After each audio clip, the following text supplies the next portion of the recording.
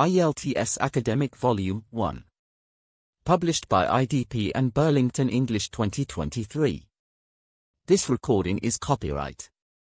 Test 2. This is the IELTS listening. You will hear a number of different recordings, and you will have to answer questions on what you hear. There will be time for you to read the instructions and questions, and you will have a chance to check your work. All the recordings will be played once only. The test is in four parts. At the end of the test, you will be given 10 minutes to transfer your answers to the answer sheet.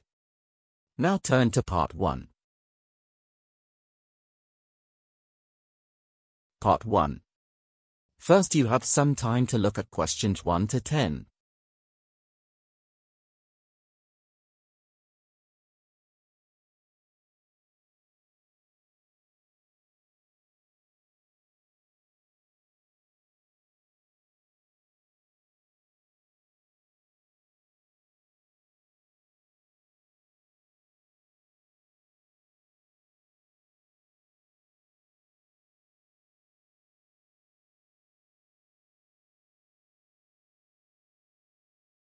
Now listen carefully and answer questions 1 to 10.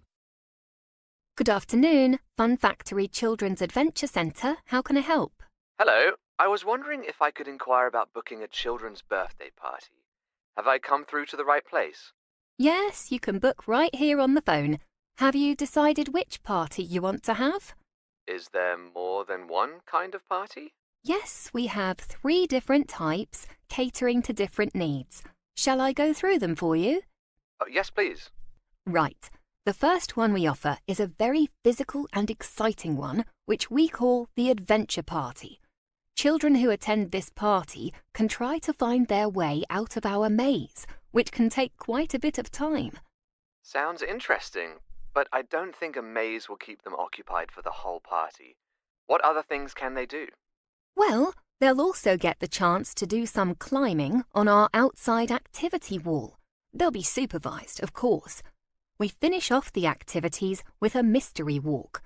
One thing with this party, though, is that it's aimed at older children, young teenagers, I mean, because it's not suitable for young children. Lunch, cake, and other things to eat and drink are provided. But we do ask parents to make sure that their children have a change of clothes. It can be quite muddy outside. Right. Well, my daughter is 11, so that's probably not for her. What other parties do you have available? Ah, she might enjoy the magical party. They get to see a fantastic magic show, but they also get to participate. Our magician teaches children how to do simple magic tricks. Hmm, I'm not too sure.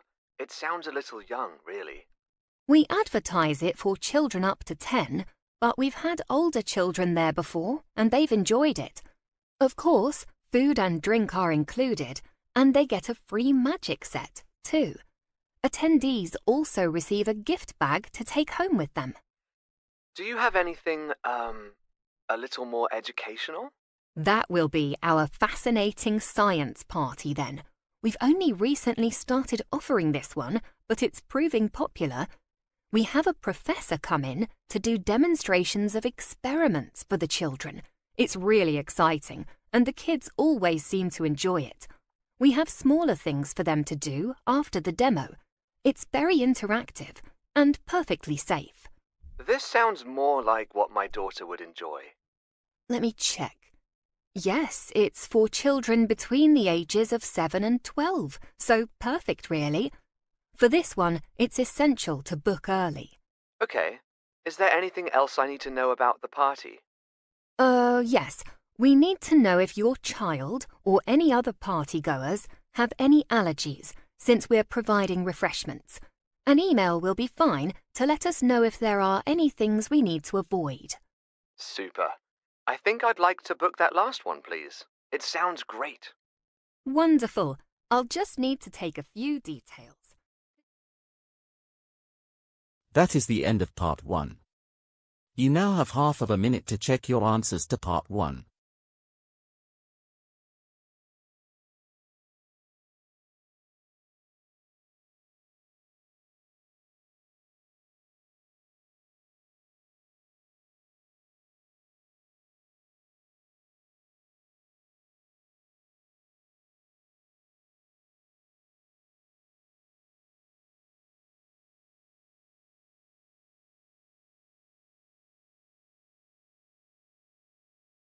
Part 2. First you have some time to look at questions 11 to 15.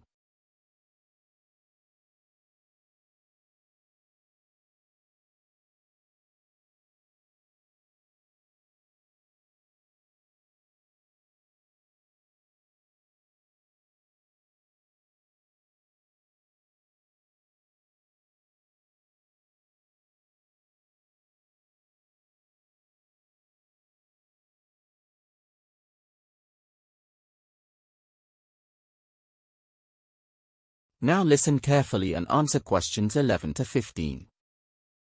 Good morning and welcome to Taylor's Dockyard. I'm thrilled to have you here for my talk this morning. I'm going to run through the most exciting features and exhibitions we have for you to explore, and then I'll talk you round our maritime site. Now, for our younger visitors, we have a very interesting workshop, which is an exclusive for today only. Our master crafters are going to be demonstrating how to make model boats out of wood, and you can even make your own. Adults, all the children will be supervised by qualified staff, so you can enjoy the rest of the site if you'd like, or stay and build your own too. Once you've built one, why not see the real thing? The star of our site is HMS Mouse, named for her speed. She is the only vessel of her class still surviving, and so we're incredibly proud of her. On board, you can visit the engine room, and you also get the chance to dress up like sailors. And if you want to see what it was like for the person at the top, go along to the captain's room. If, however, history is more your thing, we have a special place for you to visit, which is as much for adults as it is for children. The history of the dockyard can be found in the timber sawmill, which I'll show you on the map in a moment. Inside the mill, you'll see an exhibition on the naval history of the site, as well as knowledgeable guides who will be able to answer any of your questions. In addition to getting information from the guides, you'll find education packs for students wishing to do any further research on maritime history, and these are free. Finally, I want to tell you about our temporary rope making exhibition. This is housed on the upper floors of the mill. You'll discover why rope was so important to the workers of the dockyard, and even try your hand at twisting some rope. It's not easy, though. Before you hear the rest of the talk, you have some time to look at questions 16 to 20.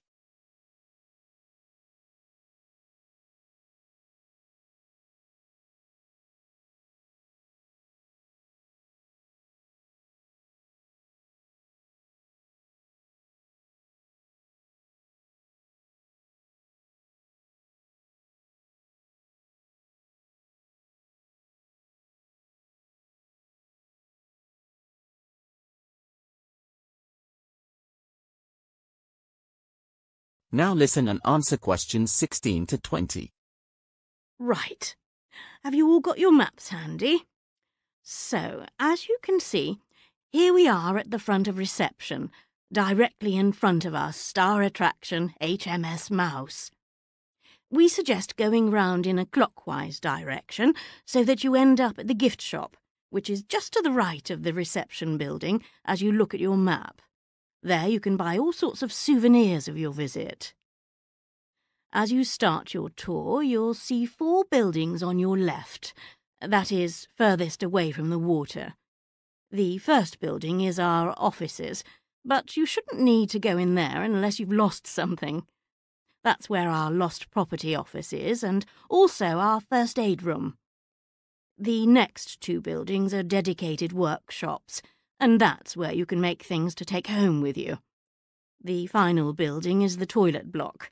There's access for everyone there, but if you have a problem getting in, please do come to the office and let us know.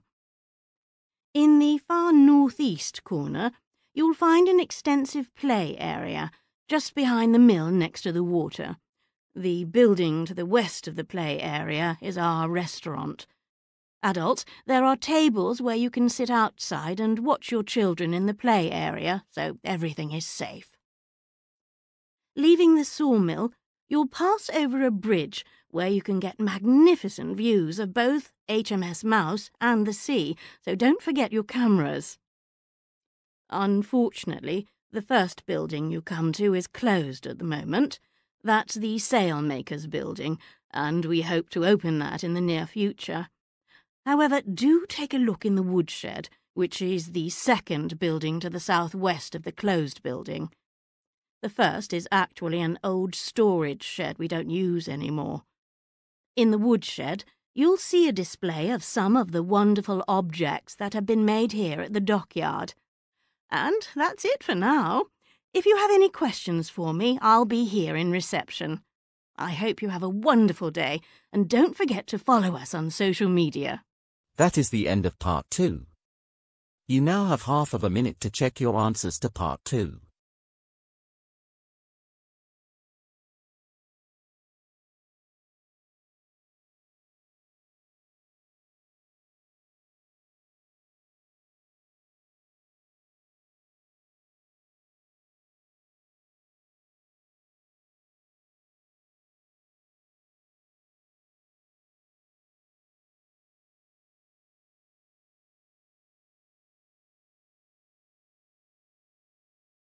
Part 3. First you have some time to look at questions 21 to 24.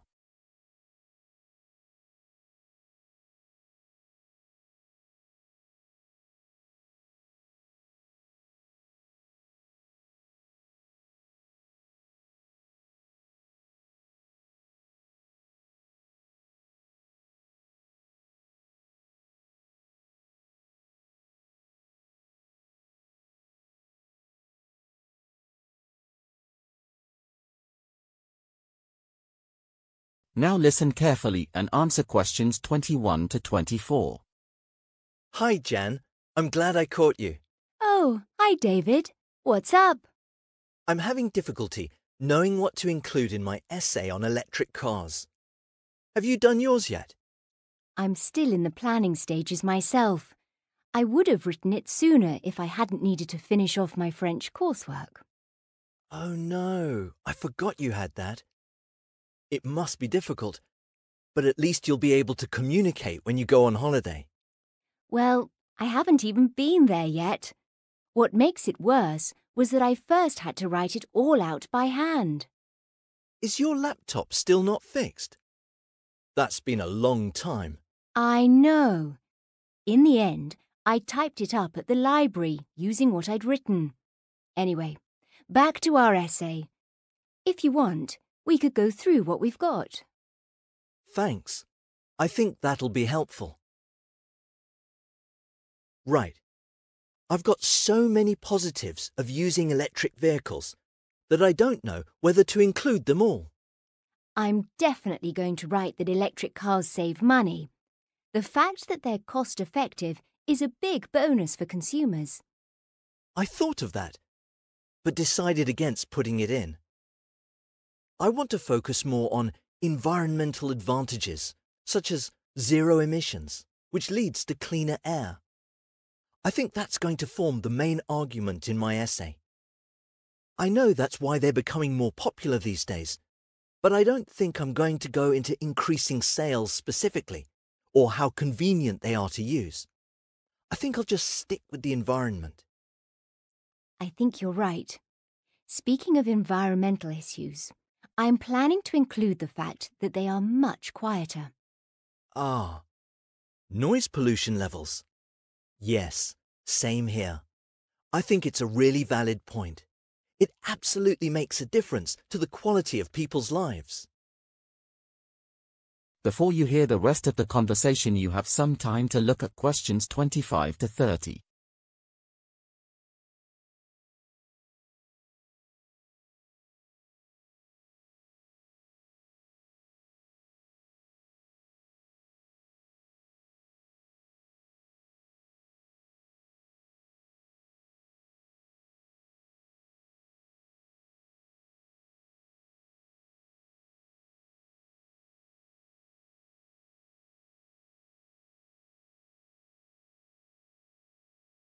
Now listen and answer questions 25 to 30. So, shall we move on to look at the negatives? At first, I found this difficult, but there are a few that I found. Yes, me too. I think the biggest issue I got was that there aren't enough charging points for the number of cars that are predicted to be on the road.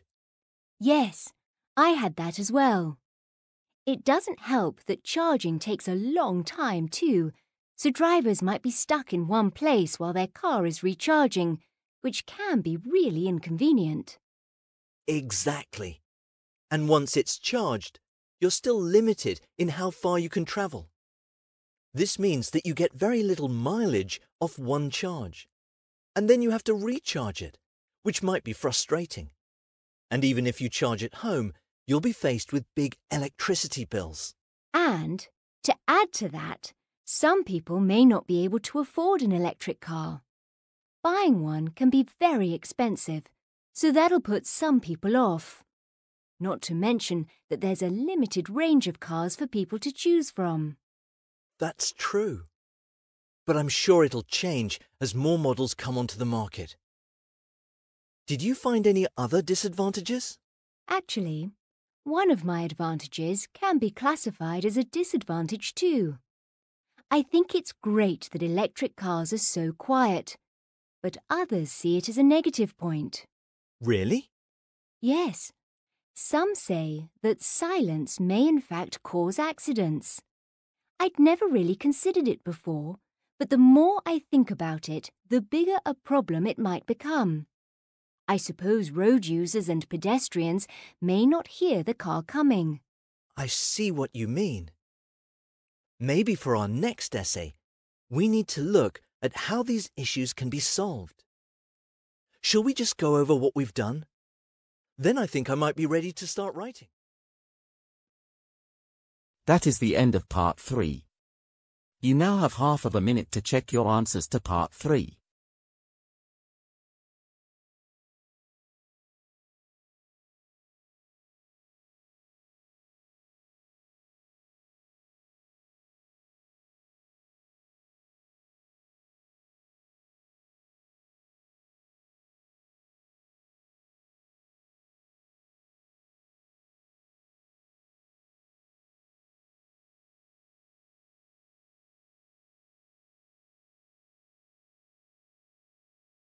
Part 4. First you have some time to look at questions 31 to 34.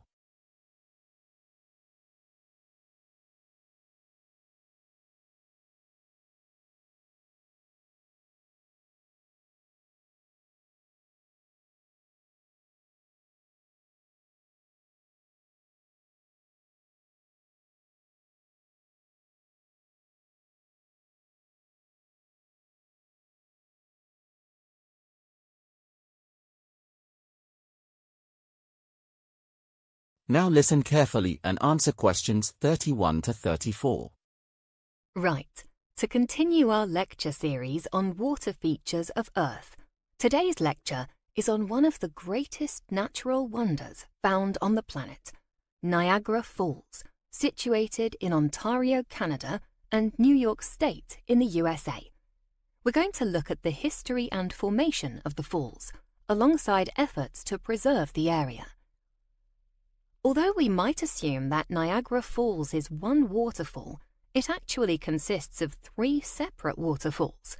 Horseshoe Falls, the biggest, stretch across the border between the USA and Canada. Bridal Veil Falls, the smallest, and American Falls both lie in US territory. The combination of all three makes Niagara Falls one of the most well-known waterfalls in the world. Scientists estimate that the falls were created during the last ice age, which is also commonly known as the last glacial period. It is generally agreed that this era finished around 12,000 years ago, and it potentially began over 100,000 years ago. At this time, ice covered a vast area of North America in what is known as the Wisconsin Glaciation. The majority of Canada was enveloped in ice, along with various sections of the northern United States, including New England and some of Idaho. Then, of course, the ice started to retreat, or melt. During the melt, the excess water started to fill basins of land, which would eventually become the Great Lakes. Once the lakes had reached breaking point, they drained into the Niagara River, which flows north from Lake Erie to Lake Ontario. As the water flowed, the river cut a large gorge into a cliff face, thus creating the falls. However, the falls that we see today are different to the ones that were created almost 12,000 years ago. In fact, because of erosion and falling rocks, the falls have changed location, moving further south by nearly seven miles. Scientists believe that erosion continues today at a rate of around 30 centimetres each year. By this calculation, Niagara Falls will have ceased to exist in 50,000 years, as they will have eroded a path travelling 20 miles to Lake Erie, where they will disappear. The erosion process is helped by the annual freezing of water and gradual melt. Horseshoe falls are also evidence of the change, as they have altered shape from a slight curve to the more familiar V shape we can see today. Before you hear the rest of the talk you have some time to look at questions 35 to 40.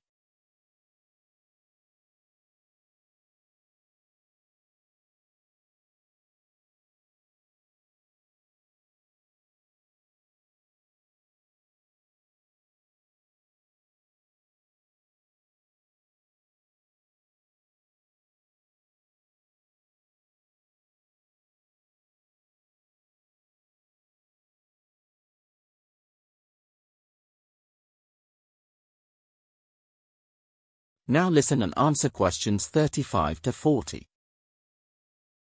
Now, of course, the falls bring a lot of revenue and tourists to the area and aid energy production. More on that a bit later. So, efforts have been made over the years to help preserve the falls and slow the rate of erosion. Originally, the volume of water which flowed over the falls amounted to 5.5 billion gallons every hour. You can imagine that this vast quantity of water is quite destructive. As a result of this, the US and Canadian governments have attempted to reduce the amount of water flow. They have done this by constructing barriers underwater which help to redirect the flow. As well as this, they have strengthened the top of the falls using metal bolts. In 1969, the American Falls were completely dried by creating a dam to divert the water over the bigger Horseshoe Falls. This allowed for observations and repair work to be carried out, such as strengthening the riverbed. However, probably the biggest benefit and method of preservation is the production of energy. The falls at Niagara are a historical first because the world's first large-scale hydroelectric facility was opened at the site in 1895. Nowadays, electricity plants in both countries bordering the falls generate enough electricity to power just under 4 million homes. That equates to nearly 5 million kilowatts. There are now five power stations on the Niagara River generating all this energy. This diversion for power generation has altered the flow of water over the falls and has divided opinion. On the one hand, diverting the flow helps the preservation of the falls for future generations and alleviates the pressure that erosion places on the surrounding natural structures. Visitors to the area probably don't even notice that the falls are not at full capacity and accept them for what they are, especially if they have never seen them at full flow. However, opponents of this believe that the falls should revert to their original flow stating that the intervention of energy production is unnatural and is changing nature's intention.